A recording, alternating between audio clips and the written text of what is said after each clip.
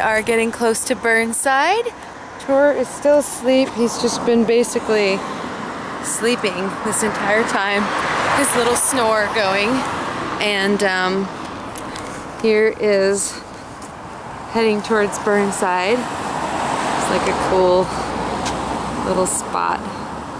It's like a vino place that has like all kinds of wine tastings. I remember when I was pregnant, I would walk by it and I always was wanting to taste the wine, but I didn't drink at all during my pregnancy really. Towards the very end when I was overdue, I had a had a couple sips of some prosecco and I had a couple sips of wine. Like I think I had like half a glass of wine because I was so needing to relax. But throughout the entire pregnancy, I did not drink and um, I wouldn't have gone to a wine tasting, too much temptation. But uh, it was, uh, needless to say, worth it. um, so now we're coming up. This store intrigues me. It's called the Side Street, and it's like a little knickknacks and things. They have like a whole Halloween display going on kind of cool.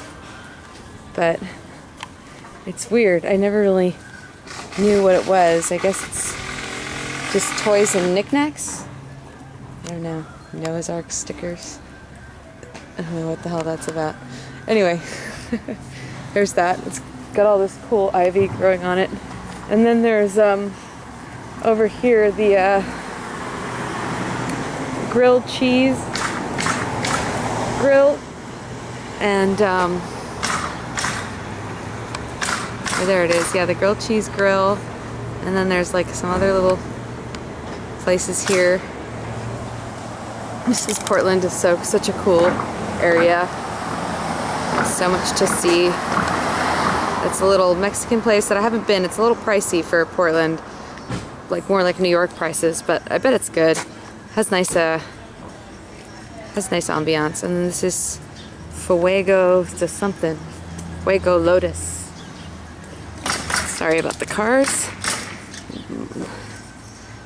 Anyway, so we're still on our walk, and I think that uh, we'll uh, be heading back soon, but I'm gonna hit it up. There's some bamboo. Find bamboo everywhere you go.